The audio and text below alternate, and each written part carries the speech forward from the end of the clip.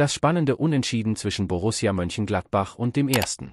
FC Köln entfachte die Leidenschaft der Fans und löste nach dem Schlusspfiff eine Welle eingehender Analysen aus. Robin Hack, die zentrale Figur dieses denkwürdigen Aufeinandertreffens, öffnete sein Herz, um seine Emotionen über das Ergebnis und die Leistung seines Teams mitzuteilen. Es ist wirklich belastend, den Spielstand umgekehrt zu haben und am Ende ein Unentschieden zu erleiden, sagte Hack. Der Spieler drückte seine Frustration über den Ausgang des Spiels aus, insbesondere nachdem er das Tor erzielt hatte, das Borussia in Führung brachte. Ich war völlig aus dem Häuschen, als ich den Ball zum 3 zu 2 ins Netz schoss. Ich kann mich nicht erinnern, jemals so emotional gewesen zu sein, als ich ein Tor gefeiert habe, gestand er.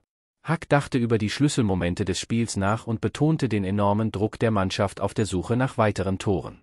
Ich habe gehofft, dass wir die Führung halten können, aber ich denke, dass wir uns am Ende zu sehr unter Druck gesetzt haben, um den Punktestand zu erhöhen, bemerkte der Spieler.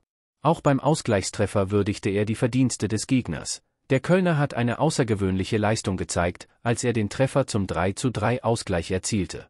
Trotz der Enttäuschung über den Ausgang des Spiels versäumte der Spieler nicht, die Bedeutung des Gewinns von mindestens einem Punkt in einem so harten Klassiker hervorzuheben. Natürlich hätten wir den Klassiker gerne gewonnen, aber angesichts des Spielverlaufs ist ein Punkt schon wertvoll, so Hack abschließend. Jetzt sind unsere begeisterten Fans an der Reihe, sich zu Wort zu melden. Welchen Eindruck hatten Sie von der Leistung der Borussia und dem Unentschieden im Derby gegen Köln? Teilen Sie Ihre Meinung in den Kommentaren mit und unterstützen Sie unsere Spieler weiterhin auf der Suche nach neuen Siegen und Erfolgen.